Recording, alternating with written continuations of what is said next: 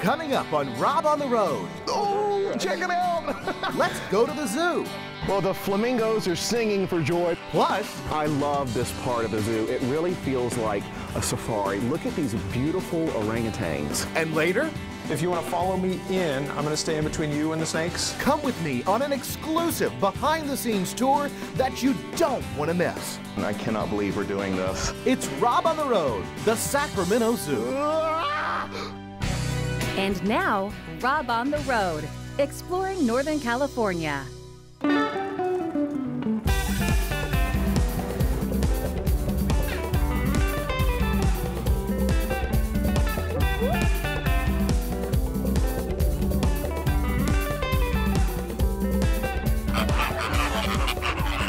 Well, the flamingos are singing for joy because we've got a super fun day for you right now at the Sacramento Zoo, a gem in Northern California. And who better to show us the front row than curator Harrison Edell? Good to see you. Hey, welcome to Sacramento Zoo. Oh, it's so fun to be here already. Just listen to the sounds. Yeah, absolutely. We've got animals calling all day long. Animals are active early in the morning, um, and you guys are here at the right time to go meet some of the animals up close. That's fantastic. So tell me what all are we going to see today? Uh, we're going to see a little bit of everything today. So we're going to face your fears in the reptile house. We'll talk about that later.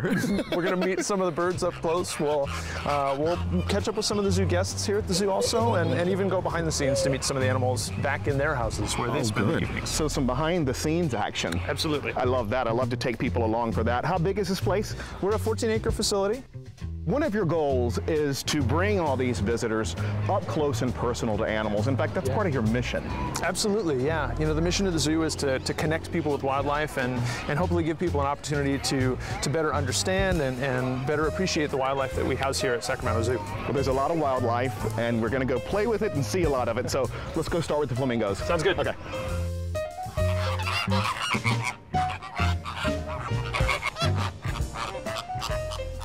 Well, you hear them, they're so cool. We're talking about the flamingos that you see when you come right through the gate. Harrison, they're so tall. They are. So the taller ones are, are usually males, and the shorter ones are usually the females. And then we have a huge number of them are sort of right in the middle. So it's sort of hard from a distance to tell whether it's male or female. I mean, look at that one right there in the middle. Yeah. Standing straight up. He is just freaking out about something. Yeah, these guys are American flamingos. This is, again, one of the largest species of flamingos on the planet. They have a very ritualized series of courtship dances and behaviors that they do.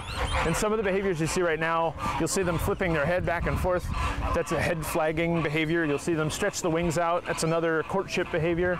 Um, and later on in the season, we expect to see what, what we call parading. And you'll literally see the entire flock move together from one spot to another. And it's very ritualized. It's, it's obvious that they're not just walking somewhere. Right. They're moving as a group. And, um, you know, the hope is, of course, that they will build nests and lay some eggs for us.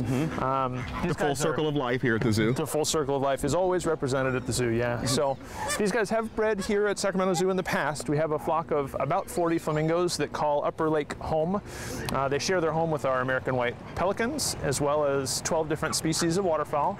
Um, and these guys are just spectacular birds. I mean, they're- there's not much that I can do to make them look any cooler. They're, they're incredible animals. And I love Harrison how some are standing on two feet, some have this one really cool Yeah. legged stance going on. Uh, is that just behavioral? Yeah, that's a resting behavior for, for a lot of long-legged birds. You'll see them tuck one leg all the way up, and it's a way to sort of give that one leg a rest while they put all the weight on the other one. Um, the thing that's kind of odd about flamingo legs and, and the physiology is that their joints look backwards to us, but what looks like a knee to us is actually part of their ankle. Oh, And their- really? And their knee is all the way up closer to the body. So Oh. what looks kind of backwards and funky to us is, is completely normal for a flamingo. I've never been this close to flamingos, and I had no clue how stunningly beautiful they are. Yeah, the colors are incredible, and these guys get a lot of the coloring from the vitamins in their diet. Um, you know, in the wild, they eat a lot of algae and shrimp, and and a lot of their food has high vitamin A and E in it, and that's what gives them that brilliant coloring. Now, what is over here preening itself? Those are our American white pelicans. the big guy in the front is Zamboni. The little guy at the back is Monty. These are two rehabilitated pelicans that could not go back to the wild because of wing injuries that Oh, no. prevent them from flying. Um, So the zoo gave them a second chance of life? Exactly, yeah. These guys were uh, rehabilitated at a facility up in Montana, but obviously the injuries prevented them from, from surviving out in the wild. So they came to live here at Sacramento Zoo, and we hope that people will be maybe inspired to learn more about birds and, and change their own behaviors a little bit to, to better serve wildlife. And there's ducks here too. I see all kinds of little ducks scurrying around. Yep, some of them are natives who just hang out because the food is good and there's not many predators. Natives. Okay. Yeah, a lot of them are, are collection birds who have lived their, their whole lives here too. So uh, we have 12 different species of waterfowl that share the different lakes here at the zoo too. Well, the lake is beautiful, and so is the surroundings. And all around this area are hundreds of animals. So Yeah. let's go. Yeah, Okay.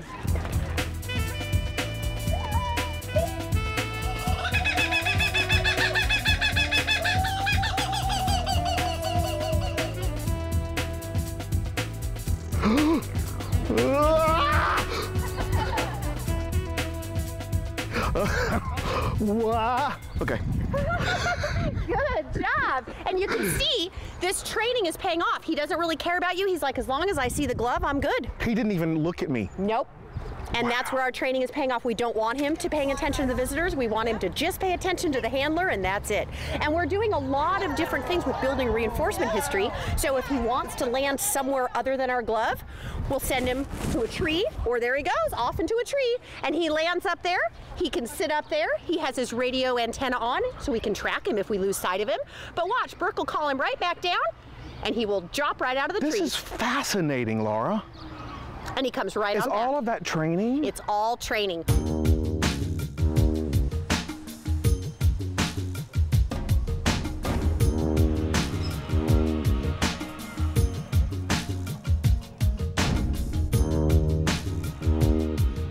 Well, welcome to East Africa, right here in the middle of Sacramento. Here are the giraffes, and they are beautiful. They are beautiful. Yeah, we house uh, reticulated and Maasai giraffes here at the Sacramento Zoo. What does that mean? These guys are two different types of giraffes from East Africa. So these guys would be found in Somalia, Kenya, Tanzania. Um, and you know the animal collection here is pretty diverse. We have animals from lots of different continents. Uh, our African animal collection includes the giraffes, our Grevy zebras, African lions, a number of different animals. and we're going to see all of those. And this this giraffe feeding station is exquisite. And look how people can just get right up close to the giraffes. In fact, you let people feed them at a certain point during the day every day. Yep, that's correct. This is the uh, Tall Wonders Giraffe Deck. Uh, when we redesigned this exhibit and reopened it, we wanted people to be able to get eye level with a giraffe and see them up close and personal. So, uh, depending on the season, we offer one or two giraffe feedings every single day so people can get up close and personal and meet our giraffes individually. There's something really beautiful to see these people's reactions as they're feeding the giraffes. Absolutely. Yeah, I mean, you know, I, I think there's something about giraffes. They're they are beautiful animals. They're non-threatening. Kids are fascinated with them because they're so big. Um, and for a little kid who you know spends a lot of time in the city to come meet a giraffe eye to eye and have it right in front of you is a is an incredible experience. And so you're going to take us shortly behind closed doors up in the barn to show us how to get up close and personal with a giraffe too. Yeah, absolutely. We wanted to show you guys the uh, behind the scenes here at the zoo, give you an idea of how that. hard the animal keepers and the keeper aide volunteers to work to provide day-to-day care for a collection of 500 and some odd animals here at the Sacramento Zoo. I love behind the scenes. So let's go take a look. Sounds good. So we're behind the giraffe exhibit. What's this fella's name? This is Chifu. Chifu. This is our, our male Maasai giraffe. male Maasai. We've got some food. Yep. Let's see if we can lure them in. Yeah, we'll go check out the barn. Okay. Follow me upstairs. So we can get face to face, huh? Well, we'll see if they want to come inside and check us out. They usually do. Harrison, this is beautiful. Thank you. Yeah, this is our giraffe barn. This is where the giraffes spend the night, and during Are the they stay in here at night? They do. They come in at nighttime, and you know, in the colder months, uh, we want to keep them nice and toasty warm because they're from tropical Africa. So we keep the barn a, a constant temp for them. And right now we're up in the hayloft, which is the top level. This is to where- eye. yeah. Well, this is where we store all the grass hay and oat hay and straw for all of our hoofed stock here at the zoo. And it also gives a great vantage point of the giraffes when they come in. So we'll see if one or two of them is going to come in and investigate. Normally they're curious about anybody who's in their barn, so How will they know we're in here? Oh, Oh, they'll hear us. Check it out. now you'll like me. It's when, the when in doubt, coax them with food. This is just breathtaking. They're incredible animals, aren't they? They're so, wow, they're strong. Yeah, very strong. You'll see she's got that row of teeth on the bottom that help her to, to pull leaves off of the tree branch. Look at her and showing that off. tongue in action. Hi. Let's see if we can show you the tongue. A lot of people assume that our animals come from the wild, and I think giraffes are a great example. We have a herd of five giraffes here at Sacramento Zoo. Uh, our group of five were born at various zoos in the country, including Milwaukee, Colorado Springs, San Diego, and Los Angeles zoos. So they're all from, they're born in zoos. Yeah, 90 plus percent of the animals that you see in an AZA accredited zoo are born in a zoo somewhere. I think that's important to bring up, Harrison, because I think that a lot of people are under the impression that zoos just get animals from the wild, and that's not the case anymore. No, you know, we, we try and be as, as careful as possible about where animals are coming from. We want to make sure that our populations are sustainable and that we're not having to, to take animals out of the wild. So we pay a lot of attention to, to breeding behaviors and, and making sure that we're managing genetics appropriately and managing the population so that we don't produce too many animals. I would assume if they do come from the wild, it's because they're endangered. Yeah, there are some cases of, of animals where we've brought animals in from the wild specifically to, to set up a breeding program. Um, California condors are a great example of that. There are some animals like our pelicans here at the zoo that are here because they can't survive in the wild due to an injury. And there's some animals in captivity that, that came from the wild originally. Well, Sky, you have been so sweet to do this interview with us. To be fair, we didn't ask her to do much except come have a snack, eat. but that, that works for drafts. So. Well, this has been a wonderful experience, and there's so much more to see here at the zoo today. So, Sky, we're going to let you eat, and we'll see you later, Happy, sweetie. happy to oblige as long as there's good food involved. So pretty.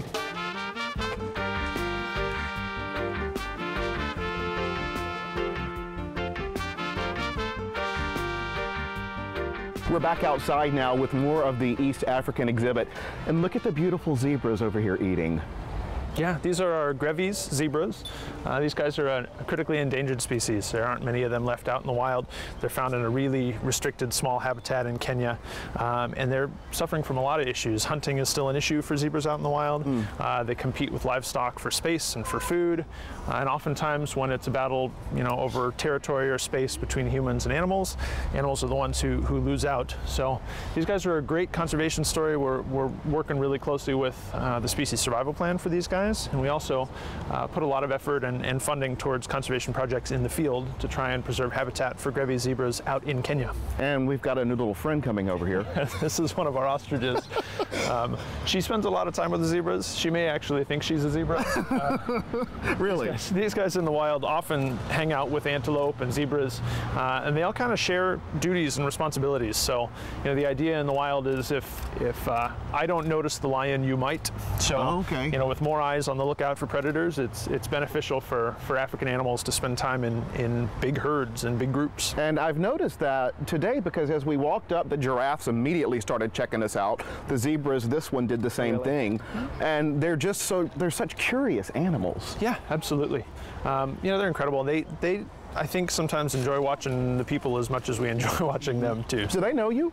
Uh, you know, some of the animals definitely recognize me. Depends on the animal. Uh, you know, with the giraffes, I think they they do key in visually. They look for people they recognize. They also listen to your voice to see if it's if it's a voice they recognize. Uh, for some of the other animals, like our, our apes, our chimps, definitely uh, pick out faces from the crowd and can recognize an individual keeper or a, a volunteer that they know. All right, well, let's go see. I know that there's some really beautiful animals right around the corner. Sounds good. Let's go check that out.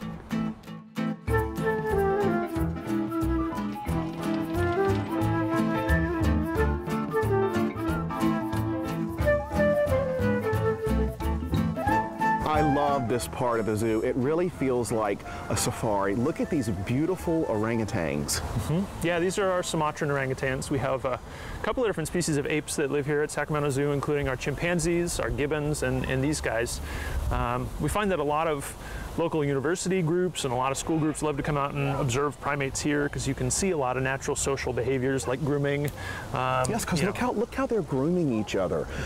What is that? Well, it's a, we call it an affiliative behavior. It's a behavior that reinforces bonds between animals in the social group. Orangs are not found in big social groups in the wild. They usually have their own territories that sometimes overlap. Um, in a species like chimps, you see really different behaviors because they do live in big extended family groups. Um, and so, you know, the behaviors are really different, but it's an opportunity for people to see some of those different behaviors here uh, in person and, and observe for themselves, which is pretty, pretty incredible. You know, I love how they swing. I mean, this, this exhibit really gives them a lot of fun. Yeah, you know, it's a challenge sometimes to provide animals with enough mental stimulation and, and emotional stimulation and things to do. Um, it keeps keepers on their toes. We, uh, we provide a lot of our animals with environmental enrichment. We try and change the environment from day to day so that they don't get bored. Uh, present food items in different ways each day, give them structures to climb on or explore um, to keep their minds active. Mm -hmm. That's what you're doing with the chimpanzees today, too. Yeah. Boy, those animals are active. Yes, they are. They definitely keep us. And they can get loud. Yes, they yes they yes they can. they're incredible. They're they're great animals. We enjoy working with them very much.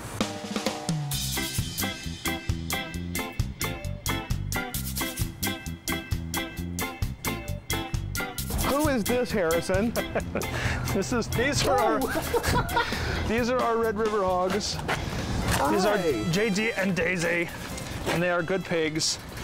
They're so cute. Were these African? These are, yeah, these are Central African Red River hogs. They share their exhibit with our Eastern Bongo, which are big antelope that we're going to go down and meet in a minute. Hi. Hello. You guys are so handsome. And can we feed them a carrot or not? We're going to feed our bongos carrots, and these guys are going to pick up all of the scraps. oh, look at mouth. those teeth! Yeah, humongous tusks. Um, obviously, if you're living in an African forest, you got leopards and other predators to deal with. Those tusks are a pretty good way of protecting yourself. These guys are uh, found all over Central Africa in open foresty areas and mud wallows and look at that snout. Yeah, amazing snout. And you know, it's perfect for rooting around and digging up roots and tubers and those sorts of things. These guys will sometimes even eat, you know, a mouse or a lizard if they catch it, but a lot of their food is fallen fruit and roots and things like that. Can they run fast? Yeah, they're very fast. Mm -hmm. And she'll probably, both of them will probably follow us down the road right, as we walk down to Bongos. Let's see what happens. All right, would you like a carrot? Want a carrot? I would like a carrot. Come on. Come on, piggers. All right, let's go. Come on, kids. They're cute. Daisy! Daisy! You said we have behind us here another one of your favorite type of animals. I have a I have a lot of favorite animals at the zoo. What is this? These are eastern bongo. Come here, bongo. Who is screaming up a storm? Those are our chimps who are just across the path on the front side of the exhibit. Okay. So can we feed these? Yeah, I was gonna say in, in just a moment or two, the hope is that they will be enticed by a carrot. They gotta stretch and wake up a little bit because it's siesta time for them. Uh, Where are they from? Eastern bongo are from Kenya, and their Kenya. entire geographic range is one little spot in the mountain ranges of Kenya. They're they're a critically endangered animal. They're found almost nowhere on Earth except this little tiny strip of mountains in Kenya. Is that why there's a conservation effort for that's, them? Yeah, that's exactly why. So um, these guys are a really successful species survival plan, and we were lucky to have one of our young bongo go back to Kenya. Um, oh, really? Yeah, and, and we do get updates every once in a while from biologists in Kenya on how that animal's doing. Well, that shows it's that the it's ultimate, working. ultimate payoff. Here we go. Let's see if it'll it'll eat from you. I know, good girl. Oh, what's her name? This is Victoria. She's actually the mother of the animal that went back to Kenya. Wow. Here, Victoria. The pigs, the pigs, would love any piece that she drops, so if any piece of the carrot drops, don't worry about it. The cleanup crew has got you covered. This huge animal is so gentle. Yeah, absolutely. And these guys, as big as they are, when they're in African rainforest, they almost disappear. They've got those beautiful stripes on their sides, and those help them to blend in in forests and they can be amazingly quiet when they need to be. When they're moving around in the forest, you, you really don't even notice them. I, I, I can totally see that because they're just so calm. Well, now it runs off, but well, that's because our that's because our male is going to come push her out of the way and steal some carrots too. Okay. So this is Ferdinand. This is Hi, our Ferdinand. bull, and he's still a fairly young bull. He's going to get much bigger. They're beautiful animals in general. Will they bite? He will potentially bite you. we like to say that anything with a mouth can bite. So we always want to make sure you know where the teeth are at all times. There. Look at those horns. Yeah, his horns are huge and they are still growing because he's still fairly young. So they'll get even bigger. They're just beautiful. Yeah. That's one of the things that I, I keep feeling from each animal we've gotten up close to today mm-hmm. is that each of them has their own, literally like majestic energy. Yeah, yeah. You know, if you take the time to, to really understand an animal, every one of them's got something unique and and incredible about them. Whether it's some cool adaptation or, or something aesthetically gorgeous, it just sometimes takes people more time to figure that out. Mm-hmm. I'm sure that keeps your job constantly fascinating to you. Absolutely.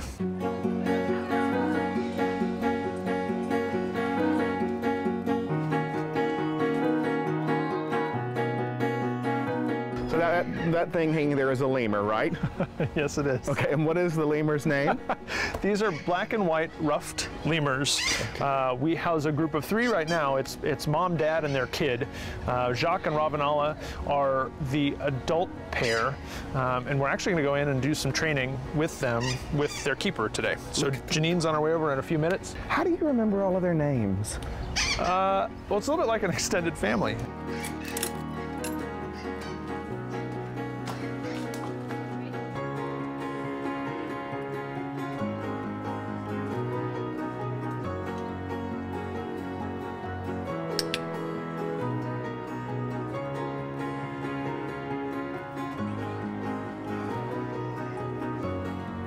So this same lemur will be headed to the veterinary hospital here that you have at the zoo, Yep. which is a partnership with UC Davis. Yeah. Tell me about this program. Yeah, we built uh, a brand new veterinary hospital about seven years ago. So can a- watch through the window. Yeah, it's, it's a very unique uh, facility. Uh, it's a unique facility because you can see most of the procedures as they go on through the windows.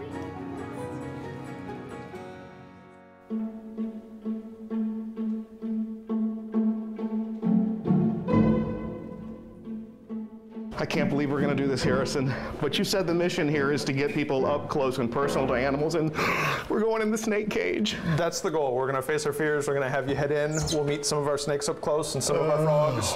If you want to follow me in, I'm going to stay in between you and the snakes. Thank you. And you're going to be totally safe. So come on in. I cannot believe we're doing this. You're going to be fine. We're going to head all the way into the exhibit. Just follow my footsteps all the way across. Okay, is that is that thing going to come towards us? No. We've got two, two snakes in here. One of them is a green tree python, the other is a carpet python. Both of them are from New Guinea and Australia.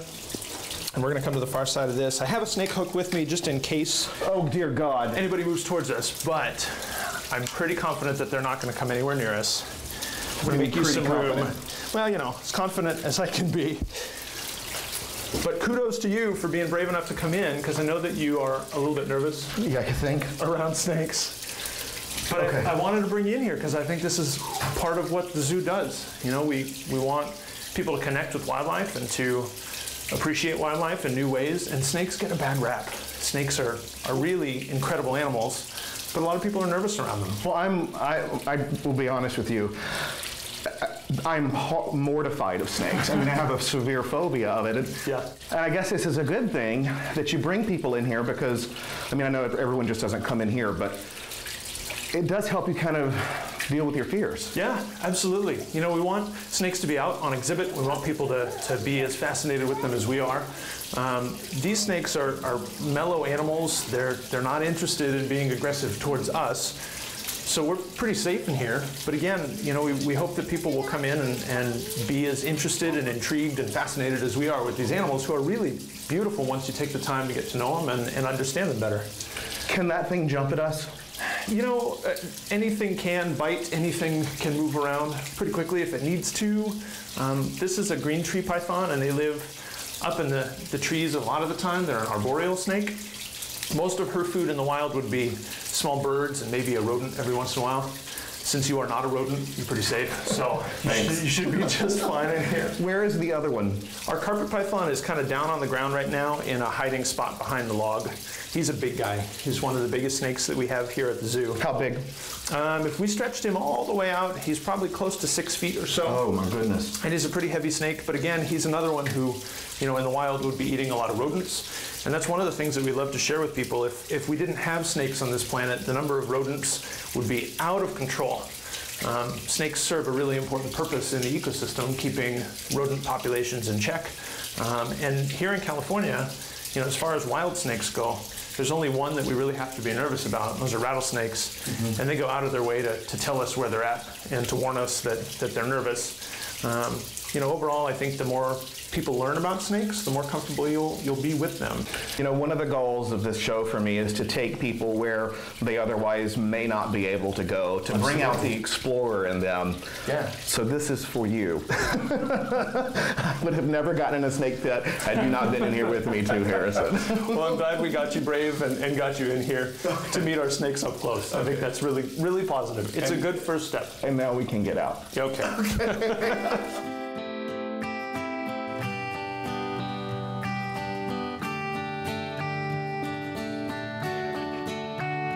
We have had a marvelous day with you here at the zoo, Harrison. We've seen so many smiles, so many animals. We've had really close, fun encounters with, with uh, animals and tried some things that I thought I'd never try before. and, you know, at the end of the day, though, how do you feel when you go home from here? you know, we always compare uh, the zoo community here to our family away from home. And when you spend this much time with the animals and with the staff that we're working closely with, it, it does feel a lot like family. So, you know, every morning when we come to work, we're working with our family. Every afternoon we go home to our other family at home. So um, it's, it's an incredible place to work. We're, we're lucky to be here. And I don't know very many people that can say that about their work. It's, we have a lot of good days. Yeah. Well, that's wonderful. And this has been one. Good. Yes, Good. Harrison Edell here at the Sacramento Zoo. Thank you so much for a great day. You're welcome. Thanks for coming out. Yep. Okay, watch this. This is a kookaburra. What is it?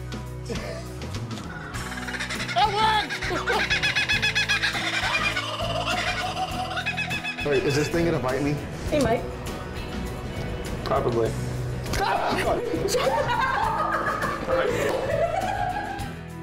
To order a DVD copy of this program, call 888 814 3923 or visit robontheroad.org.